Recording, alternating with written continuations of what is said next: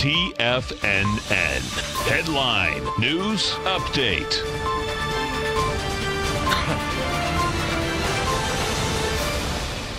Welcome, folks. We have the Dow Industrials trading down 557. We get the Nasdaq down 189. S&Ps are off 57. That's a hit of 2.3% in the Nasdaq, 2.1 in the S&Ps, 2% in the Dow Industrials. Gold contract, gold contract up $2.40, trading at 12.86 an ounce. We have silver down a penny, $14.91 an ounce. Light sweet crude off 91 cents, $61.31 a barrel. Notes and bonds. You get the 10-year note up 12 ticks. 124 even. 30 year bond up almost a full point at 148.24. We get open, we take a look at this uh, 10 year. What you're going to see both the 10 year and the 30, folks. They're breaking topside once again. They have volume behind the move. We got 1.5 million contracts in the 10 going after the 124.04 level. Bottom line is that you are over the first high, which was January 1st. That's what we had broken out on the 22nd of March. This baby wants to run up to this 124.31, more than likely take that baby out. If we take a look at the yield on the 10 year, right now you're at 2.446.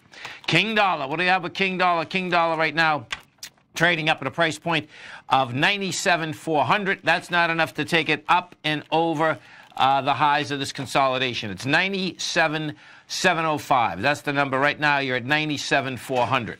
Uh, we go take a look at the S&P. What you're going to have out here, folks.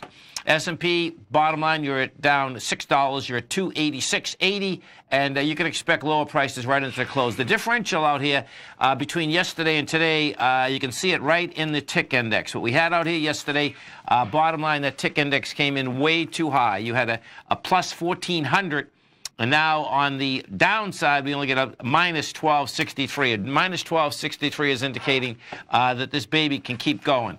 Uh, in order to uh, turn around on that tick index, you got to get that thing up to about 1400, minus 1400, and then get a second one of about minus 12, minus 1300. And you're not even close to that. So what you don't have out here, even though the market's down pretty dramatically, you don't have dramatic selling simultaneously. That's when you when within minutes. You just don't have that out here. This has been pressure all day long inside the marketplace. I expect what you're going to see pressure coming right into the close out here.